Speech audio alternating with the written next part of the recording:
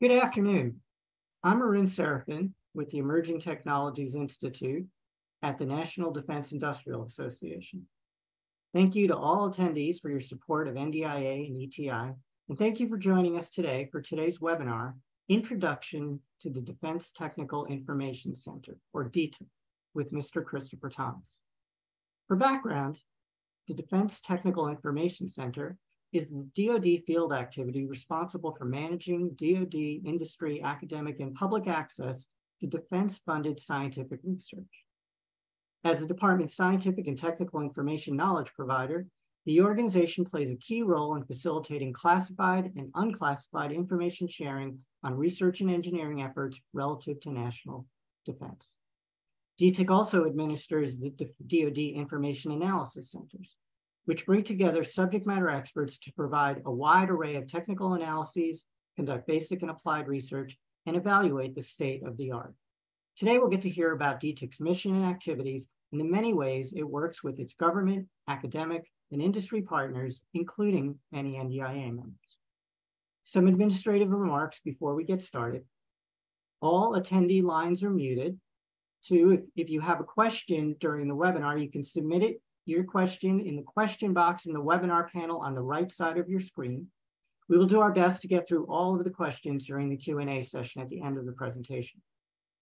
We're recording today's webinar for members unable to attend and for any member who wishes to review the material at a later date. Within the next few days, we'll also be posting the recording to our YouTube channel. Now I'd like to introduce our speaker, Mr. Christopher Thomas. Mr. Christopher Thomas is the administrator of the Defense Technical Information Center and has been doing that job since 2012.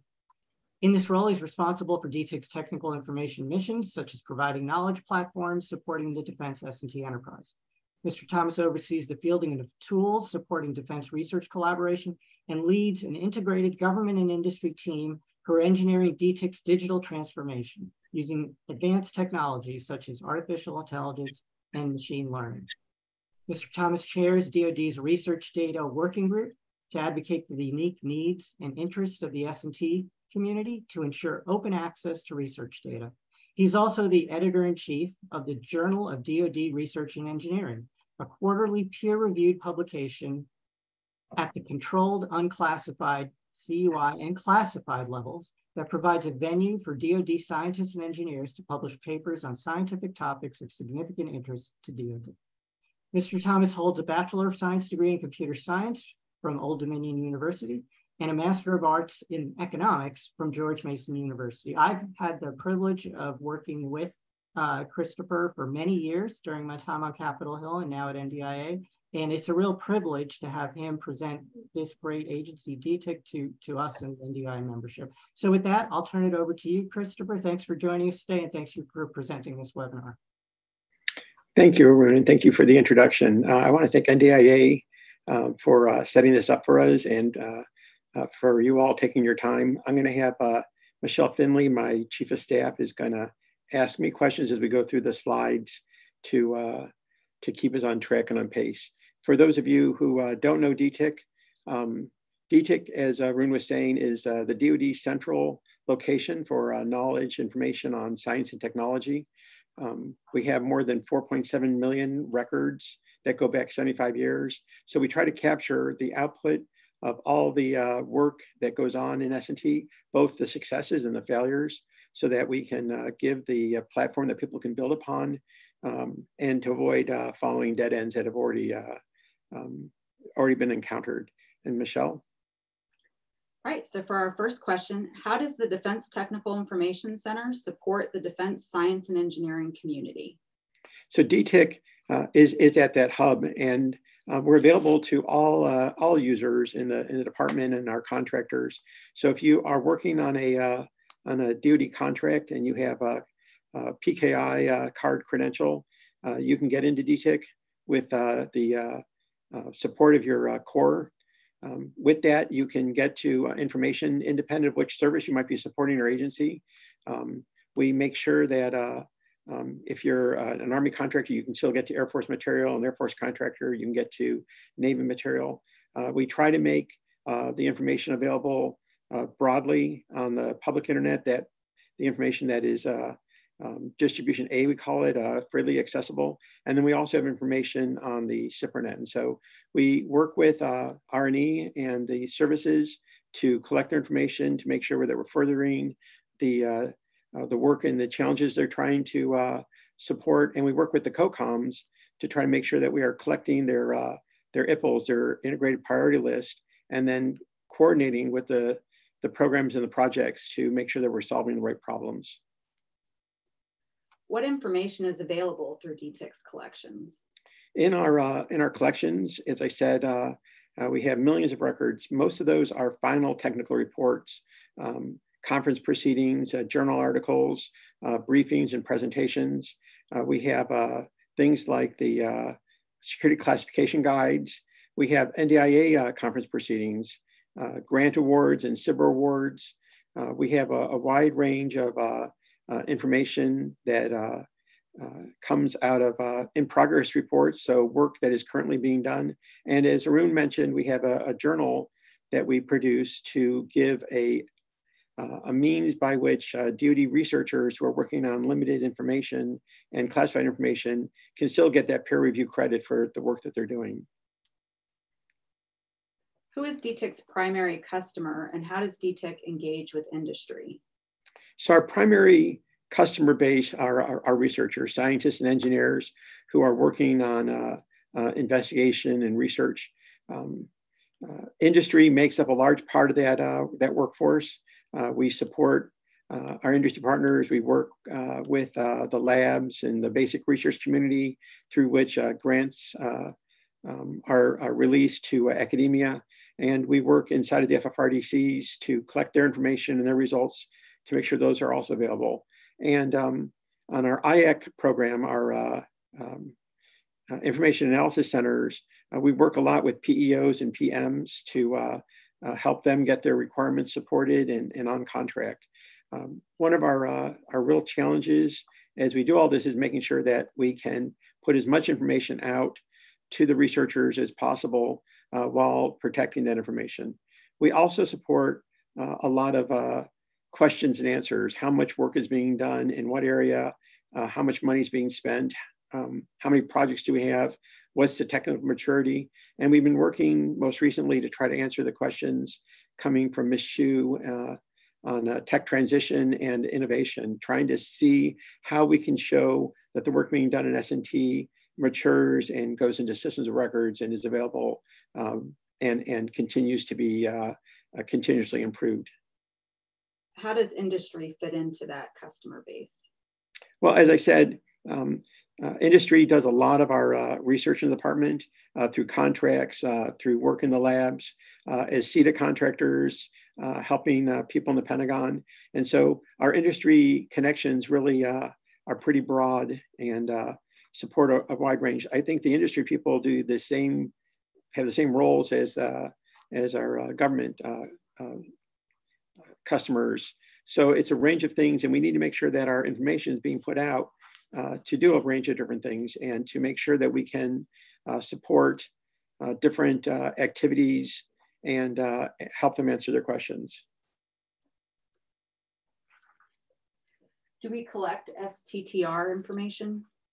Um, so we collect uh, both IR&D, STTR, SBIR, grant information, um, uh, we try to make sure that uh, from the uh, uh uh, side, we're both helping them with the uh, SBIR awards and putting that up in our tools, tracking that, but we also collect the SBIR outcomes in the same way we collect other technical results.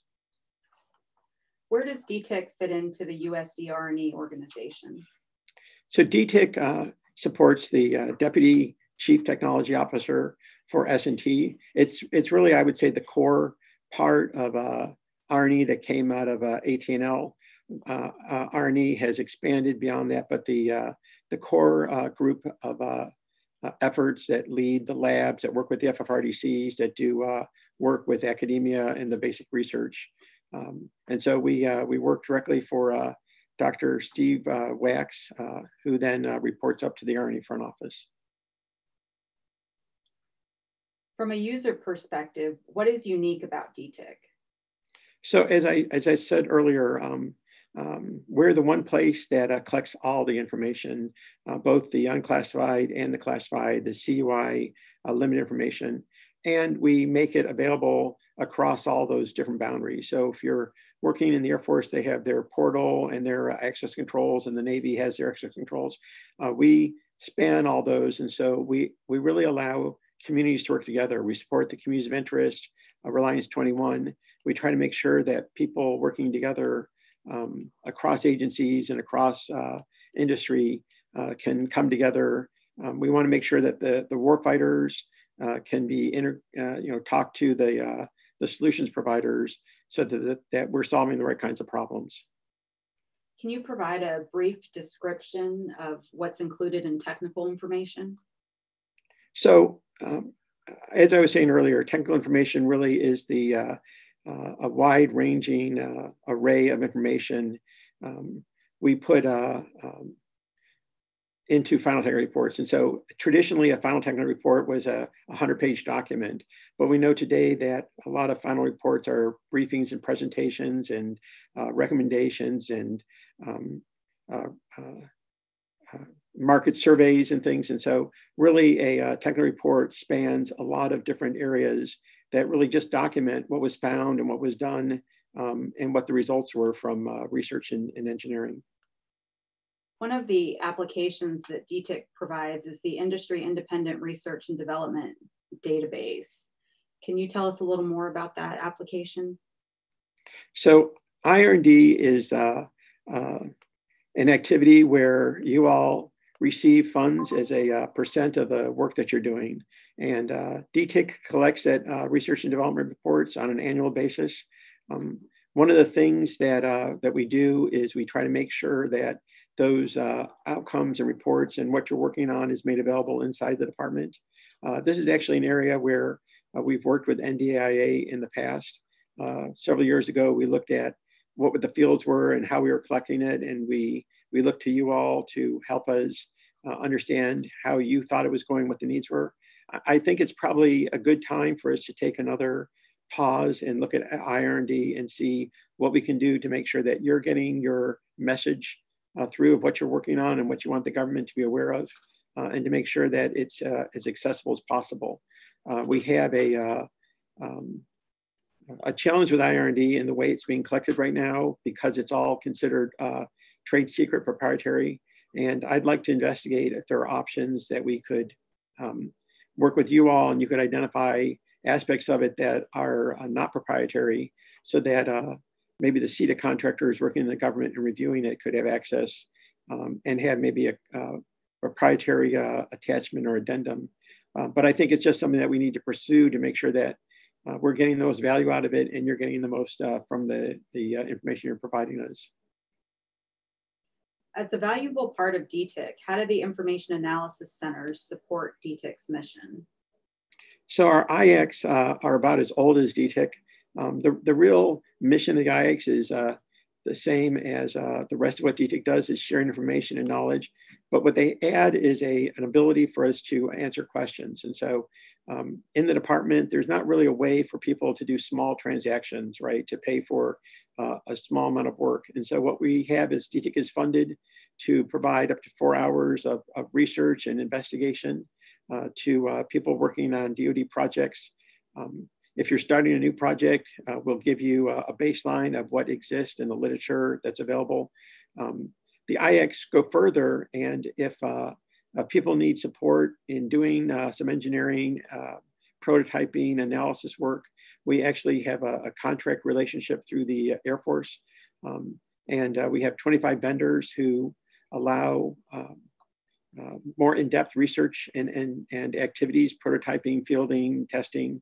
Um, that's actually an opportunity for uh, industry to join in uh, with our, uh, our established vendors. We make it so that it's easy for them to add a sub. So if you become aware of a, uh, an activity or an opportunity that you think you can contribute to, uh, we think it's a way that you could try to work with those companies as they competitively bid for additional work. Can industry participate in the subject matter expert network that the IACs have?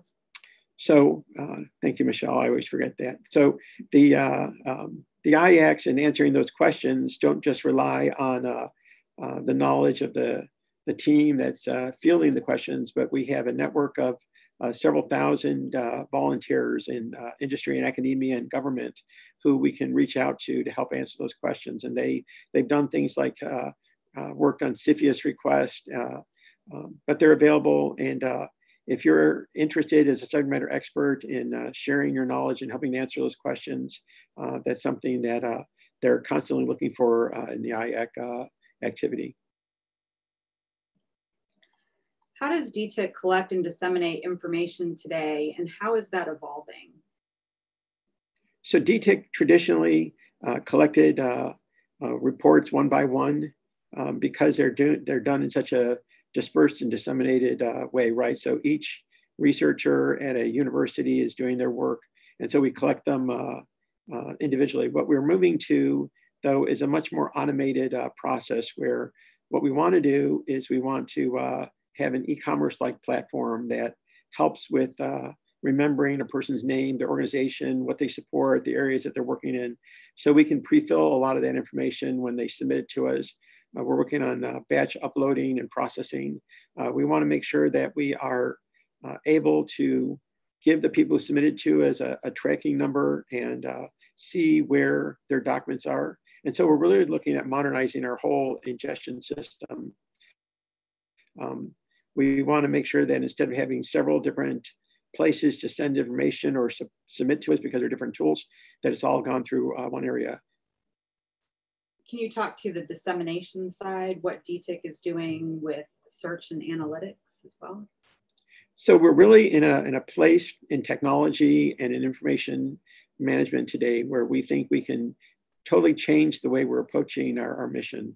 In the past, uh, you know, you would come to DTIC because you wanted a document or you wanted a uh, answer to a, a, question through a query. Um, Today, as we are using the cloud and, and have access to AI and ML, what we want to do is really paint for you the landscape of uh, the area that you're interested in. And so if you come to DTIC because you want to get a security classification guides on a topic, we want to be able to give you all of the information that we have about that topic. We want to run seven or eight queries in the background and help fuse the data together and really give you that uh, understanding of what's happening in the technology area. Um, we want to look where uh, people are working together and uh, how technologies are maturing and answer questions. And so we're looking at changing the way we answer uh, those questions, not just text answers, but visually and uh, with graphs and, and other ways that help people understand what's going on in, in the uh, in the S&T community. Who are DTIC's partners and what is DTIC looking to industry for help with? So uh, DTIC uh, works all across the S&T enterprise as we are working on uh, um, our modernization, on, uh, on our uh, advancing our technologies. We are working with the Air Force in their Cloud One environment. We've worked with Defense Innovation Unit to discover solutions and possibilities. the Joint Reserve Directorate is a group of people in R&E who in their reserve duties come in and use their expertise in industry uh, to uh, help guide us. And uh, they've worked with us on our architecture and done market surveys. Uh, we work a lot with the Chief Digital Intelligence uh, Office and the, uh, the CDO in R&E. Um, and we've been working with R&E, I'm sorry, with Advana, um, because we're both giving them information. We want to make sure that we can access tools that they have. Um, but beyond that, when we talk about the research community, we work uh, closely with uh, the, the basic research office and the, uh, uh the community that is involved with uh, basic research in, in, in academia, I'm sorry. Um, and uh, Arun mentioned earlier in the introduction, we have the Research Data Working Group, and that group is really meant to help us look at new things and new areas, including digital data sets. One of Ms. Shyu's priorities is to trace uh, tech transition. What is DTIC doing to trace transition and how can industry support those efforts? So one of DTIC's real, you know, fundamental uh, mission areas is to enhance the return on investment for S&T. So, uh, you know, we talk about collecting the information, making it available. That's so that we memorialize discovery and innovation, uh, that we don't lose it, that the uh, investment is not lost when someone retires or, or changes jobs. Um, but one of the things that we, we know that we need to do in, uh, in research is show that the work that's being done uh, uh, culminates in a, in, a, in a solution, a product, a service, a, uh, an advantage on the battlefield. Um, and so uh, we're trying to show how we can trace those steps. We have uh, challenges because of the way money is binned and the way programs are marked. And so we, what we're doing is we're working with the uh, R&E uh, CDO and looking at uh, how we can delve into our, our data, add to it other collections, um, see what we can put together to trace both the funding and the, and the tech maturity and, uh, and show where we're having uh, outcomes that are advancing and uh, um, demonstrate the value of the S&T. DTIC has four priorities for our modernization. Can you highlight those? So uh, um, we've identified four, I think, baseline areas as we try to modernize. The first is to make sure that we're always on and available um, uh, so that um, when we uh, when someone comes to us, they can get the information they need. And that's just a basic fundamental element. Uh, then we uh, are working on the, uh, the submission of content that I talked about. We are overhauling the way we do search and analysis. And to add to that discussion, we're working on uh, data sets. And so uh, when people do research, they produce data sets. Those data sets have been used by uh, the office or the group that uh, does the work, and then they're held there. And we're looking at how we can collect those and make them more available, how we can help people find them, how we can move them around. Um, um, Michelle had asked me in the last question uh, how industry can participate in all this. And so um, when we look at something like uh, data sets, um, we have a, a, challenge both in the size and the understanding, the tools um, to interrogate them over time. We have the cyber uh, issue. And so we're looking at what industry is doing on the open science and the rest of the federal government and having repositories and seeing how we can bring that inside the firewall. Um, we are trying to look across our, our modernization at uh, how we can use software as a service provided by industry to really move us away from having to do the basic technologies and focus on the outcomes and the and the strategies and the way we're modeling our work. And so we look to industry across a wide range of uh, activities to help us uh, solve problems, uh, understand our data, um, you know, we, we have 4.7 million records and it's too many for anyone to digest. When, um, when the uh, COCOMs come with their IPLs, their integrated priority list on an annual basis, and we want to match that to ongoing projects across the department, uh, it takes us months to read them, interpret them, and try to uh, query our databases. We're looking at tools that can uh, match uh, similar uh, technologies or take a, a, problem and match it to a solution to look at work that is being done uh, in different places and uh, bring them together to tell people here are other projects and people working on things. And so um, as we do our modernization, we're really looking at how we can tell the full story of what's going on, not just answer questions. Over the next three years, DTIC has quite a few deliverables. Can you highlight some of those and that are planned as part of the modernization? So as we modernize, um, uh, you know, we have a, a series of milestones and, and, objectives, and, and in all projects, uh, we find that as we're going through it, we need to sometimes change directions and uh, and uh, relook at how we're approaching it. Um, today, we are uh, uh, in the process of making sure that we migrate into the Air Force's Cloud One environment. We're setting up our our NIPRNet uh, CUI tools in that arena. We're rebuilding uh, tools from scratch to work in uh, the Microsoft Azure platform uh, to uh, take full advantage of what Microsoft offers. Um, we continue to look at our identity management and uh, user access controls and how we can simplify them and, and navigate the myriad of things that we have. Um, so for this year, our goal is to do that migration for unclassified uh, sensitive material. Next year, do the classified material. Uh, and then once we've established those two uh, uh areas, um, we really want to get into improving and modeling the information we're giving out to uh, uh, look at what our users are doing. We want to, we want to collect metrics and watch them uh, and see when they're getting their questions answered and understand what their roles are so that when they come to us, uh, we can tell them all about what they're interested in. We can tell them when new information comes in. Um, and so our, our, modernization is really not going to conclude with this, uh, this, this roadmap. It's going to continue on because what we're trying to do is lay, lay a foundation for continuous additions of uh, technologies. And we'll continue to look to industry to uh, give us additional capabilities. How can industry access the information that DTIC has? So uh, DTIC has uh, uh, is is on uh, three main uh, areas on the uh, on the on the network. Uh, we have our public internet access through discover.dtic.mil, and if you are anyone in the world, you can get to our information, our final technical reports, and, and do searches um, of 800,000 documents. You can uh, log into the information analysis centers. They have access to webinars, uh, to uh, information, uh, to uh, state-of-the-art reports in different technology areas. Um, in pub defense is an area that we have been supporting the Office of Science and Technology policy on free and open access to journal articles that were funded by the Department of Defense, the federal government. And so in pub defense, we gather up uh, many of those uh, journal articles and make them available uh, at, at, no cost.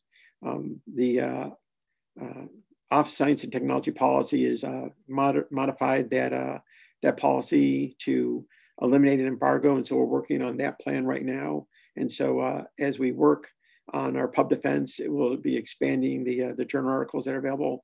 You can get a, an overview of DoD grants that are uh, have been let and see what's really going on in our in our academic en endeavors. When you uh, uh, uh look to our our CUI network, um, if you have that credential, if you um, uh, are working on a current duty project and you have a CAC card, um, you can work with your COR or your uh, your CO to get approval for access to DTIC, and from there. you can see the, the full range of our information um, you can access the uh, articles in the Journal of uh, Research and Engineering.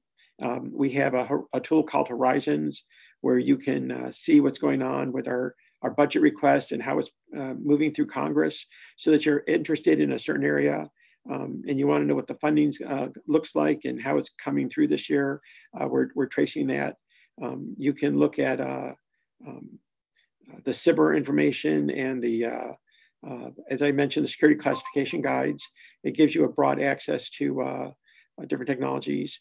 And uh, we have a collaboration area that is available to anyone. Uh, it's in a wiki format, so you can create your own area and work with other parts of the department. and then we move all that up to the SIPRNet side, where if you have those credentials, you can do all those same functions, but at a, at a classified level. So one of the questions we received is how does uh, DTIC host the NDIA conference proceedings? And those are available on our discover.dtic.mil uh, site on our public website, as well as part of the collection. Yes, so we have the NDIA collection available uh, publicly, uh, and we add it to the collection so that it's one of the things that you discover when you're when you're doing searches. And we've had that relationship for uh, a long time, and it's been very beneficial, I think, to uh, both us and NDIA. Right, uh, so that brings us to the end of the presentation. Do you have any closing thoughts you would like to share with the audience? I obviously talked way too fast. I'm sorry. Um, you know, um, I think one of the things that we would like to get out of this uh, uh, webinar is is your feedback and your uh, uh, your input on uh, on what you would like from DTIC, what information you're looking for, um, how we can make your information um, more valuable inside the community, um, uh, what challenges you have with accessing information. Um, I think that uh, um, one of the things that we'd like is your ideas on, on managing uh, technology. As we move into artificial intelligence and machine learning, it's a very uh, uh, uh, wide open arena that gives us a lot of opportunities. We're looking for ways we can present information, ways we can make it more understandable, help people um, map relationships, understand who the experts are, uh, know where work is maturing and which labs are making the most progress. Um, and so uh, uh, we're really open to getting your suggestions, your ideas. Uh, we're also looking for how we can help industry understand what the department is doing. Uh, one of the things that I, um, I didn't mention is uh, we know that there's a challenge in people in business development getting access to things like the uh, combatant command uh, integrated priority list uh, challenges. And so um, knowing that there's not really a, a, a, network way to do it, we've created a reading room uh, at the annual post conferences that PACOM does. We make that reading room available, but we have it at DTIC year round.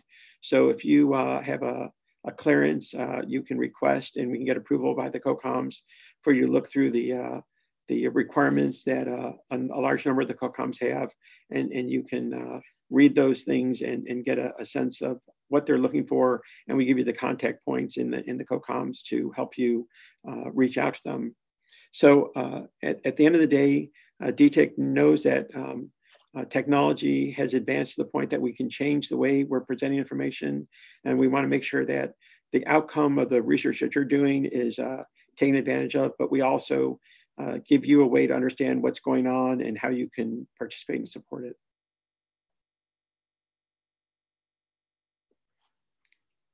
Well, that was great, uh, Christopher. Thanks very much for that presentation and demonstrating again that DTIC is about the efficient delivery of useful information, doing it in such an efficient and expeditious manner. I, I, appreciate that. And your your staff also has been very good at that, uh, answering questions. You guys can look in the chat that, that some of the questions that have been posted have already been answered. Others came in and um, I actually have some, so if you don't mind, let me just ask a couple more. Um, is there uh, a way that uh, a regular citizen, maybe not even affiliated with the company, can get past that public access to go up to the next level of access? Is there any any opportunities to do that? There, there is a uh, uh, an opportunity. It's a little bit challenging. So if you're aware of information um, you can request that the uh, organization that made it CUI or limited uh, will make it available to you. And so uh, we have a, a, forms process. It's somewhat like the FOIA process where you can ask and uh, receive information. Um, what we have to do is route it through the organization that created the information, and they make a determine if they determination if they can lower the uh, the access threshold. Um, uh, many government funded programs are these days producing software codes and tools that are useful to other members of the DoD ecosystem, whether they're in government, academia, and industry. Does DTIC currently have a repository to host those codes, uh, or is it planning to try to develop such, that kind of a repository? As we look at data sets, um, that's actually one of the challenges uh, that we uh, are trying to investigate. And, and the the, uh, the thing that we're looking at with data sets is um, if it requires code to interpret it, to use it, how do we sustain that code and make it available to others without the, the cyber management of it, right? And so um, uh, code just standalone that isn't being maintained, uh, it can tend to be a, a, risk because we know that vulnerabilities pop up in both the underlying software or mistakes in, in the software. And so we're really trying to investigate how we would do that. Would we put code into a virtual machine and try to isolate it or, into a container? Um, and so that's part of our, our, looking at, I think, data sets. And if we can solve it with data sets, we can probably expand on that idea. Um, today, though, uh, we're really trying to look at how we could make and maintain that software and make it usable um, in, in, in a way that uh, doesn't put people at risk. And again, like you mentioned in the presentation, you're uh, you're always open for engagement with industry and ideas, both on kinds of data sets that would be useful and new technology approaches, new methodologies to actually store and access that data. I mean, that's part of your open door sort of discussion policy with industry that uh, that I think you mentioned during the presentation. Yeah, so um, um, I try to make sure that uh, I am keeping abreast of uh, different opportunities and realizing that uh, um, each company or each uh, uh, activity uh, has a different way of looking at it. And, and as we're looking at um, some of these things with AI and ML, where you're doing a model and it's trying to do predictions, we understand that each one of those is biased. And so we don't actually just want to have one solution. One of the things that we do is we try to look at documents and, and categorize them uh, to the uh, critical technology areas or different areas of science. And what we know is that um, the answer that comes out of a single model um, is, is going to have a certain amount of accuracy. And so we want to look at different ways of doing it, kind of like hurricane modeling. Um, when, when, we try to do predictions on, um, on uh, technology maturity or uh, similar documents, we're, we're really looking to have multiple ways of uh, modeling it because we want to increase the confidence we give our users as what the outcome is. And so we're not just looking for a solution. If we can find uh, uh, a, several and, and merge them together, I think that gives a better outcome.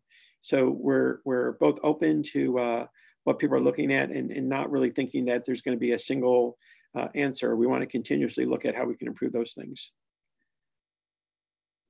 Uh, another question from the audience. Uh, could you talk about how DTIC coordinates with the other DoD S&T organizations, both inside and outside R&E, DTRA, DIU, those other places, more independent places like DARPA? How, how do you coordinate with all of those different organizations?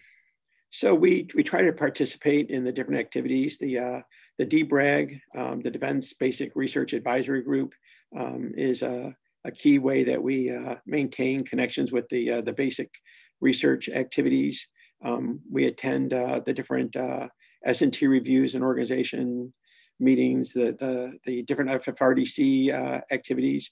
and then we obviously work directly with the, the other organizations in the DC, in the S&T uh, um, uh, deputy CTO arena. And so um, we're trying to uh, uh, reach out now that we've gotten past the whole COVID, can't uh, go anywhere or see anyone.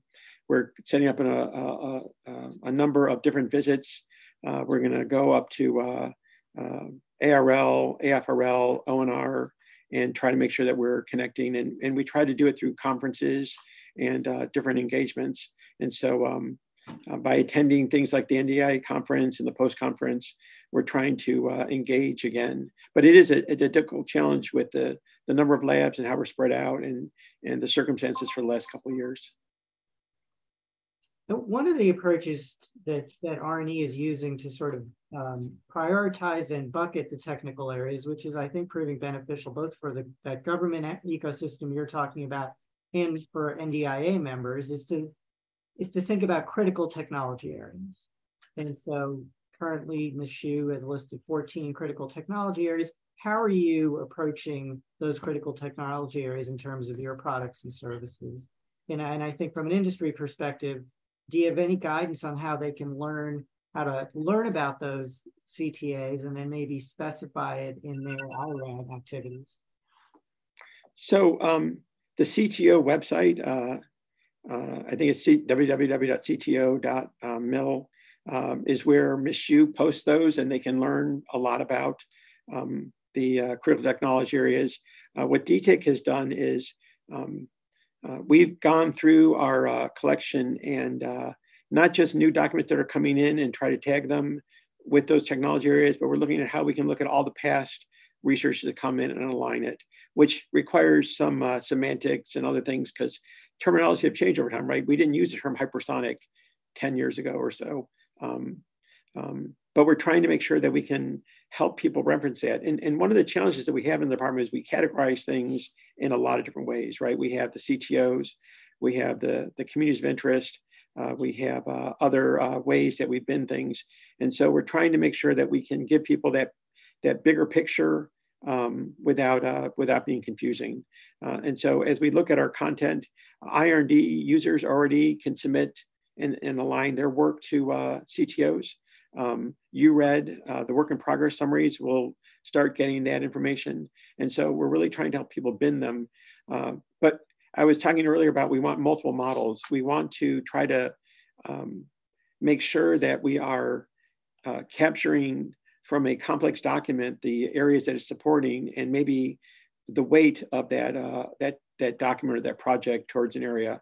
So um, um, you're not going to have projects that are really aligned to a single area. I think you're going to have projects that take on multiple of those technology areas, and there's an interest in in how much of that work is in each area. And so um, we're we're working with R&E as to how we can ask that question and how we can uh, figure out the amount of resources across a project in, in each of these different areas.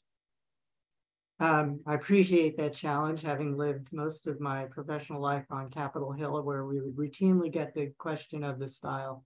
I hear robots are important. How much are we spending on robots? And well, sir, it depends on what you mean by robots. This is usually the, the first first part of that conversation. Uh, along those lines, in terms of helping answer these more difficult cross-cutting questions, uh, is there anything industry can do to help DTIC with its metadata tagging efforts? So what we what we really are looking for is uh, um, um, how we can approach large volumes of data. You know, uh, so what we need industry to help us with is not can we do it in a, in a collection of 10 documents or uh, 15 documents. Um, our challenge becomes at scale when we want to compare 4,000 work in progress summaries to uh, 2,000 uh, requirements. Um, um, we tend to overwhelm our systems. And so um, we're interested in, in people who can look at those kinds of things and uh, map them and, uh, and then present them in a way that makes sense, right? If I, if I give someone 6,000 responses, they're not gonna be able to, to use that. Um, when, uh, um, when I, when I wanna map things together, I'd like to be able to tell them the confidence and the, the why something is mapped together. Um, and so we are looking to industry to help us do that, that first thing, which is matchmaking, right? Map, map a problem to a solution. If we have 5,000 projects going on in the department right now, uh, and we have uh, uh, someone in a PEO who's looking for an answer, how do we get them to that right place? Um, when we look at our, our, our, our meta tagging, we're pairing into our data and trying to make it better. Um, so one of the areas that we have is the ambiguity of our, our material. Um, and how can we solve that? And when I say ambiguity, um, your name is pretty unique, right? So you'd be able to, uh, I'd be able to trust that if there was a document written by Arun, that it, uh, might be you. Uh, but Christopher Thomas is not unique. And so um, if you look at my email address, it has a 26 in it, and that was from 15 years ago. And so there are hundreds of hundreds of Christopher Thomases. Um, um, the reason why I started using Christopher instead of Chris is because in my company, there were two of us Chris Thomas's. And they put us in the same office area so that they wouldn't have to arbitrate which phone uh, call was going to who. Um, and so we have this problem in our uh, 4 million records as to uh, is it the same person or a different person? Is it the organization names keep changing? How can we track that through looking at uh, different artifacts? Um, can we track um, uh, a project by uh, money, by the PE, by the contracts, and, and map all those relationships? So it's really um, not just helping to solve the problem, but doing it at scale is where things tend to break down, where we have millions of things. And so we're really interested in people who can help us optimize that and get to answers. Uh, the questions keep coming, but we'll, we'll limit it to two more and then, then we'll, we'll, we'll call it. Um, you talked about supporting the acquisition community just now and, and how you can help them find out what's going on in the S&T enterprise that promotes technology transition. Could you give an example about how you're helping the warfighting community, you know, particularly dealing with the emerging and facing threats that that, that the warfighters are, are facing right now? Is there is there an example of DTIC services and products that are really being consumed at the by the operational community? So we, we use the uh, the combatant commands as our proxy for that. Um, um, we have uh, uh, at four of the uh, at the four of the combatant commands, we have an individual who's there to uh, help coordinate um, what's going on with the IAC program and uh, how DTIC can can help them. Um, uh, at the post conference, as I mentioned, with the reading room, we're trying to um, expose the uh, integrated priority list to the people can do that on in our wiki. We we host those, so if you have a, a SIPRNet account, you can get in and look at it. Uh, um, uh, before COVID, um, uh, we, we hosted uh, secure VTCs. We'll try to start that up again, where we have the labs brief the COCOMs on uh, different activities.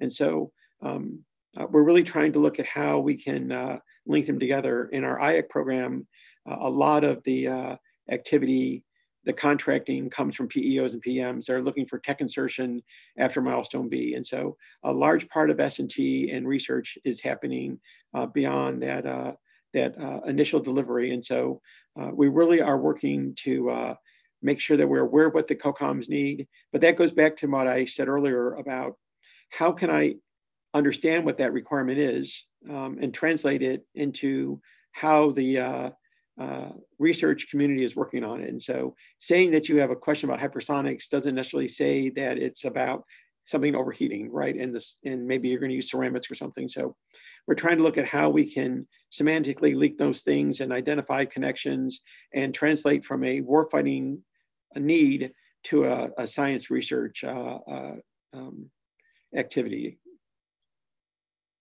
Um, and then we'll make this the last question. It, it, how, how are you approaching the challenge that DoD, industry, universities in the defense space are producing more and more, we'll call it newer forms of media, where videos like this one, audio, uh, social media, tweets. Uh, how is DTIC thinking about capturing that important information as well? So we are we are working with a, uh, a small company that uh, um, we're looking at to help us map the DoD information, um, but also um, uh, is very active in collecting up open science and, and, and, social media information. And so we're trying to um, look at how first we can help parent our own data. You know, the department does a lot of work looking at outside data, but not necessarily our own. So we want to make sure that we're really getting the full benefit from our own S&T. But then we want to link to those other um, uh, areas of information that uh, that uh, help us um, both interpret what's going on and, and recognize what's happening. And so um, through that company um, and the way they uh, present information with uh, network diagrams and graphs and, and uh, visually, we're looking to see if we can add uh, those federated kinds of uh, external uh, activities and support in what we're doing. Great. And with that, I want to thank you, Christopher, for this fantastic presentation uh, uh, and, and the uh, answering all the questions. I also want to thank uh, the audience for your attendance and, and, all of those great questions and, and DTIC staff for helping us answer them. We're going to post the slides and the recording online as soon as possible. Um, please um, complete the survey that pops up on your screen at the conclusion of the webinar. Uh, if you have other feedback about ETI webinars, especially topics that you'd like to see us cover in the future, please email us at eti at ndia.org. I want to take this opportunity to highlight some upcoming ETI activities and events. Um, our bi-weekly podcast series, Emerging Tech Horizons, uh, has a new episode dropping today. Uh, all episodes are available on our website, on our YouTube channel, and on Spotify and other platforms. Uh, on May 10th, uh, we're having the next in our Technology 101 series. Uh, it's on agile software development with Dr. Forrest Shull of the Carnegie Mellon University Software Engineering Institute. Uh, so registration's open for that event. May 11th is the launch of our major hypersonic supply chain report, looking at the supply chain needs for the future hypersonic systems that DoD is projecting it will build in the near future. Uh, May 23rd to 25th is the annual Science and Engineering Technology Division's conference being held in San Antonio, Texas this week. Uh, ETI is working in partnership with that division to put together that event. Registration is open for, for that event on the uh, NDIA website. And finally, the uh, NDIA Emerging Technologies Conference is going to be held August 28th to 30th, 2023, this summer at the JW Marriott in Washington, D.C. We're partnering with uh, Ms. Shyu's team at R&E and Mr. LaPlante's team at A&S to develop uh, programming for this event with a theme of delivering new capabilities to the warfighter at speed and scale. Uh, information on this conference is available on the NDIA and ETI websites. Uh, right now, uh, registration will be open soon. There's also uh, exhibit opportunities, uh, opportunities to present uh, technical work at this conference. So direct you to the website for more information on those. Um, thank you all for joining us for today's webinar. And thank you again to Mr. Thomas for the great presentation.